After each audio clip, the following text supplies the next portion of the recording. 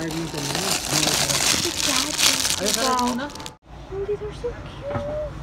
So guys, I'm back from the shop and I bought three things. So let's unbox them because I can't do it with one hand. So, so I've unboxed them and this.